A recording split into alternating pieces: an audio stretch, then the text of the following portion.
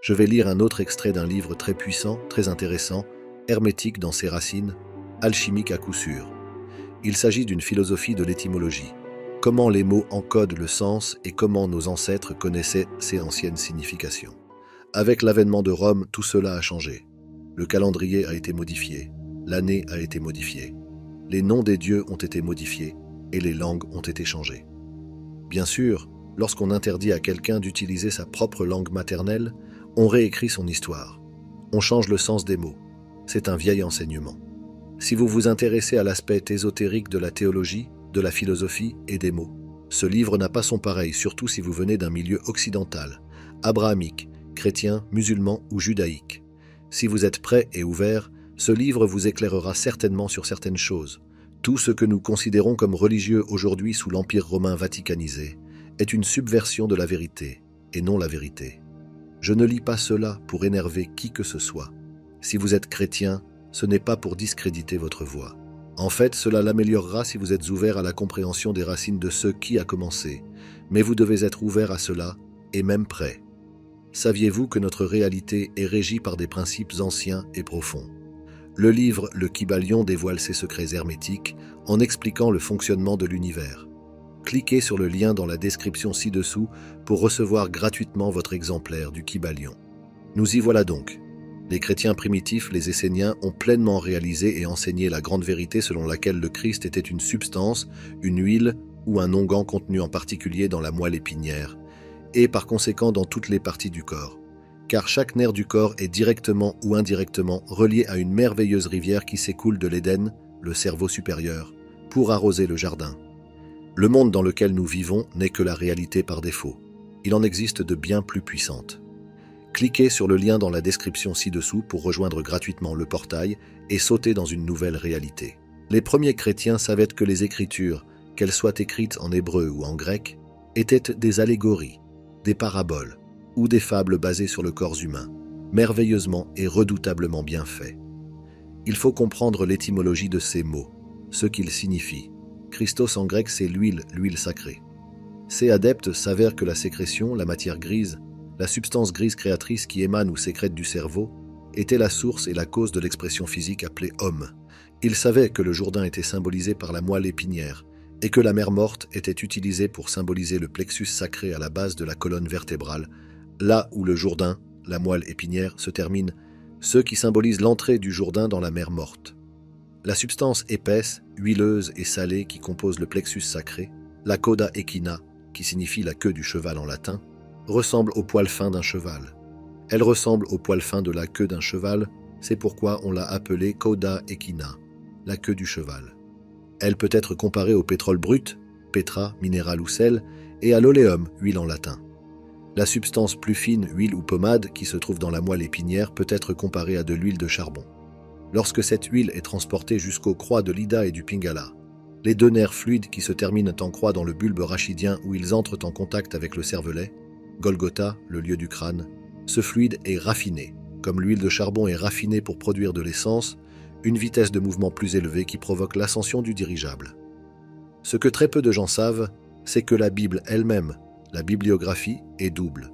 C'est une généalogie, une lignée familiale. Un tel a engendré un tel. Et le livre lui-même et tous les personnages qu'il contient se réfèrent en fait au temple de Dieu, qui est le corps humain lui-même.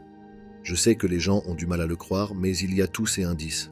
Par exemple, le Golgotha est en fait votre crâne, le crâne de chaque être humain, parce que c'est l'endroit où a lieu la crucifixion. Tout est à l'intérieur de nous. Lorsque l'huile ou l'onguent est crucifié, crucifié signifie multiplié par mille et non tué, il reste deux jours et demi, période de la lune, dans le signe du tombeau, cervelet. Le troisième jour, elle monte à la glande pinéale qui relie le cervelet au thalamus optique, à l'œil central et au trône de Dieu. Cette chambre est surmontée d'un creux ou d'un sanctifié causé par la courbe du cerveau, le plus haut du corps, qui est le temple du Dieu vivant, la substance vitale vivante, la précipitation du souffle de vie insufflé dans l'homme, donc un fantôme saint ou entier de souffle. Ce qui est expliqué ici est le secret sacré ou la sécrétion, c'est ce que ce mot signifie, la sécrétion secrète, qui provient de la glande pituitaire et de la glande pinéale. Cette chimie sort du cerveau, descend le long de la colonne vertébrale jusqu'aux organes sexuels pour créer une nouvelle vie. Elle est chargée de l'énergie électrique de l'âme. Mais si elle n'est pas utilisée pour créer la vie, et si elle n'est pas expulsée ou gaspillée, elle change de composition chimique. Une fois qu'elle se mélange, c'est le mariage chimique dont parlent les alchimistes. Une fois cette nouvelle substance formée, elle devient moins dense et remonte la colonne vertébrale dans le liquide céphalorachidien, comme le mercure dans un thermomètre. Elle se repose dans la glande appelée plexus solaire et s'y charge en fonction de la façon dont vous vivez, dont vous traitez votre corps, dont vous mangez, buvez, dormez et faites de l'exercice. Il s'y repose pendant deux jours et demi. Ces deux jours et demi sont importants car c'est la période de chaque mois où la Lune se trouve dans le signe dans lequel vous êtes né, sous votre signe solaire. Chaque mois, chaque personne a deux jours et demi où la Lune se trouve dans son signe solaire. À ce moment-là, ce type de lumière correspond à un cycle qui a commencé à votre naissance. Et votre corps sait quand c'est le cas. Vous ne le savez peut-être pas, mais votre subconscient le sait. Il prend une charge électrique de la combinaison de l'énergie électromagnétique du Soleil et de la Lune et la charge pendant qu'elle se trouve dans votre plexus solaire. C'est pourquoi on l'appelle le plexus solaire. Vous êtes-vous déjà demandé pourquoi tous les médecins du monde, quelle que soit leur culture, pointent du doigt cet endroit bizarre où la cage thoracique se réunit au centre du corps et disent ⁇ Ah oui, c'est le plexus solaire ⁇ mais personne ne demande jamais pourquoi on l'appelle ainsi. C'est pour cela qu'on l'appelle le plexus solaire. C'est un point glandulaire très spécifique. Quoi qu'il en soit, Georges Carré va poursuivre en soulignant ce point. La glande pinéale est le sommet du temple. Le modus operandi par lequel l'huile de la moelle épinière atteint la glande pinéale est décrit dans ce qui suit. Il n'y a sous le ciel aucun nom par lequel vous puissiez être sauvé, si ce n'est celui de Jésus-Christ, baptisé puis crucifié. La traduction correcte du texte en grec, tous les 29 jours et demi, lorsque la lune se trouve dans le signe du zodiaque où se trouvait le soleil à la naissance du natif, une graine, un germe psychophysique né dans ou hors du plexus solaire, également connu sous le nom de crèche. Cette graine est absorbée par les nerfs ou les branches du nerf pneumogastrique et devient le fruit de l'arbre de vie ou de l'arbre du bien et du mal.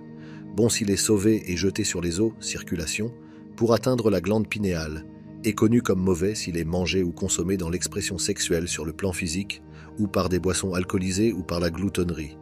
Il provoque la fermentation ou l'acide, et même l'alcool dans le tractus intestinal. Ainsi, entre guillemets, aucun ivrogne ne peut hériter du royaume des cieux, car les acides et l'alcool coupent ou divisent chimiquement l'huile qui s'unit aux sels minéraux dans le corps et produit ainsi la semence mensuelle. Ce qu'il dit, c'est que cette huile est spéciale parce qu'elle est chargée électriquement et qu'elle a la capacité de créer une nouvelle vie. C'est votre corps qui l'a créée, mais elle est aussi très fragile en raison de la façon dont vous traitez votre corps. L'idée est d'en prendre soin et de savoir qu'elle voyage le long de votre colonne vertébrale, transmutant votre énergie sexuelle en conséquence. Le monde dans lequel nous vivons n'est que la réalité par défaut. Il en existe de bien plus puissantes. Cliquez sur le lien dans la description ci-dessous pour rejoindre gratuitement le portail et sauter dans une nouvelle réalité. Il ne s'agit pas de célibat. Il s'agit de connaître son corps et d'utiliser cette énergie au bon moment pour les bonnes choses.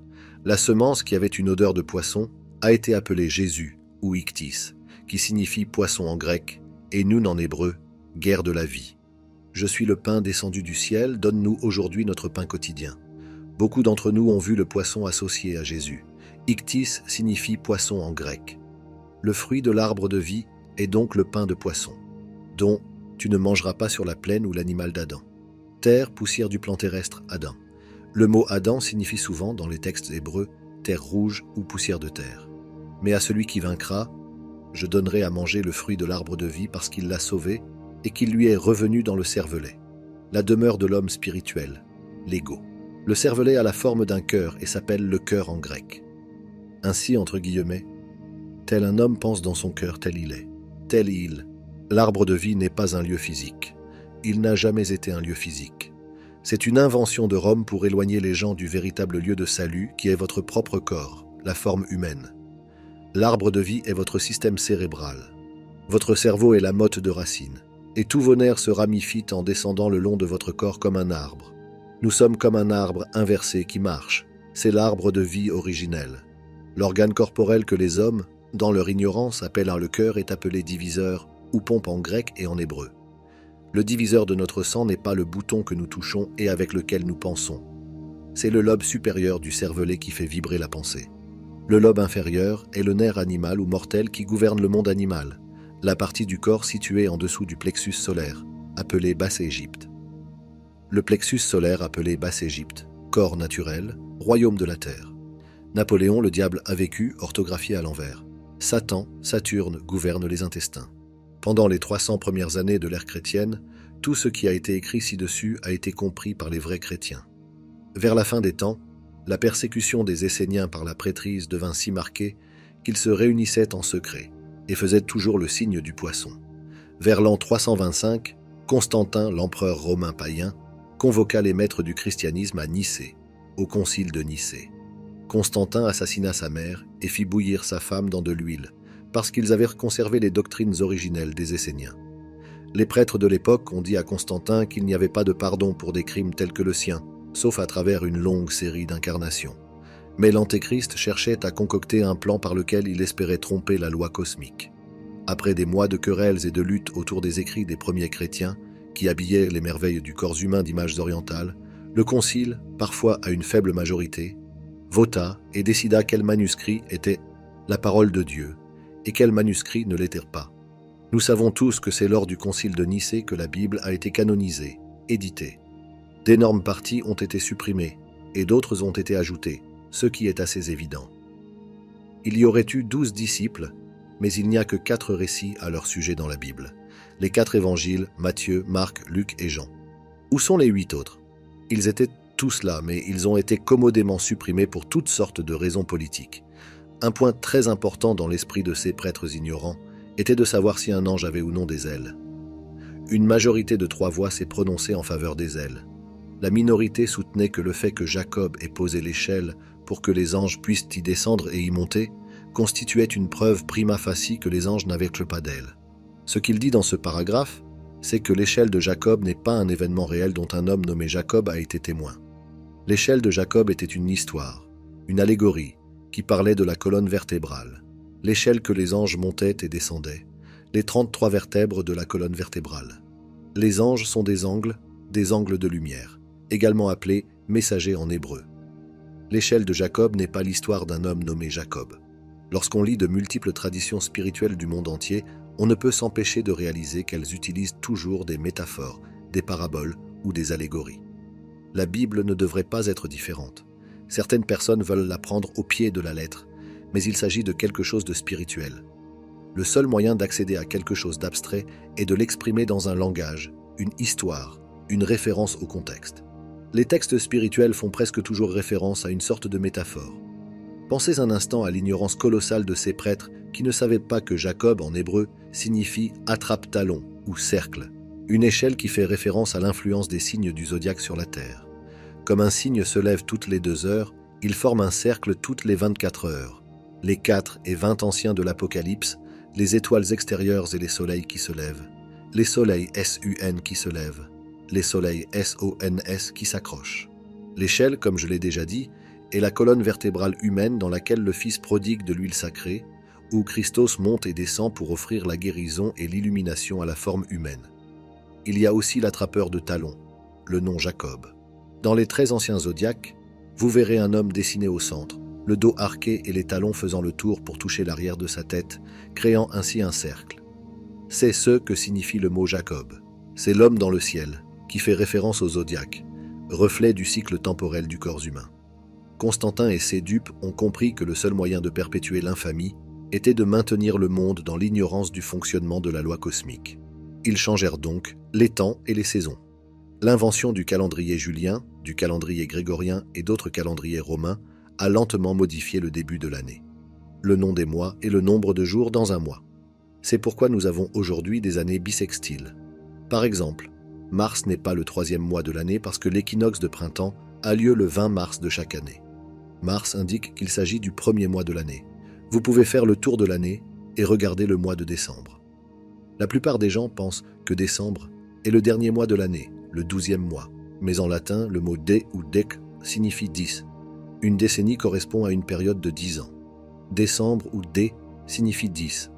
Décembre n'est pas le douzième mois de l'année, c'est le dixième mois. Octobre, OCT, signifie 8, comme un octogone, mais octobre, dans le calendrier actuel, est le dixième mois de l'année. Le mot lui-même indique qu'octobre n'est pas le dixième mois, mais le huitième mois. Comme vous pouvez le constater, le concile de Nicée a changé les choses et nous a maintenus dans l'ignorance depuis lors. Il contrôlait toute l'écriture. Il y avait très peu de personnes alphabétisées, à l'exception du clergé, et ils avaient donc beaucoup de pouvoir pour réécrire l'histoire, changer le sens des mots et modifier les cycles temporels. La date à laquelle ils ont fait entrer le soleil dans le bélier était le 21 mars. Pourquoi? Le 21 mars devrait être le premier jour du bélier, la tête. Bélier signifie se lever. Le 19 avril devrait être le premier jour du taureau, le cou. Lorsqu'il parle de la tête et du cou, il parle de l'homme Jacob, l'attrapeur de talons, le corps dans le ciel. Chaque mois correspond à une partie du corps humain. Le bélier est la tête, le taureau est le cou, et ainsi de suite. Les douze signes se succèdent tout au long du corps. Ces concepteurs savaient qu'en supprimant la vérité, les gens pourraient se rendre compte de ce que signifiait, entre guillemets, les cieux racontent la gloire de Dieu. La lune et sa lune mensuelle, mon lundi, viennent toutes du même mot. Chaque lune est un mois. La lune, dans sa ronde mensuelle de 29 jours et demi, entre dans les étoiles extérieures d'une constellation deux jours et demi avant d'entrer dans les soleils centraux des constellations, connus sous le nom de signes du zodiaque ou de cercle des bêtes. Mais jusqu'à ce jour, tout le monde antéchrist, soi-disant chrétien, à l'exception des astrologues, se base sur des almanachs qui font entrer la Lune dans un signe du zodiaque deux jours et demi avant qu'elle n'y entre, perpétuant ainsi le mensonge du païen Constantin, l'Antéchrist. C'est la fin de ce dossier. Les travaux de l'Institut de la réalité sont mis gratuitement à votre disposition, mais ils nous demandent beaucoup de travail. C'est pourquoi, si vous avez apprécié cette vidéo, vous pouvez vous abonner à notre chaîne YouTube et laisser un j'aime sous cette vidéo. Nous reviendrons bientôt avec un autre dossier. Quantiquement, l'équipe de l'Institut de la réalité.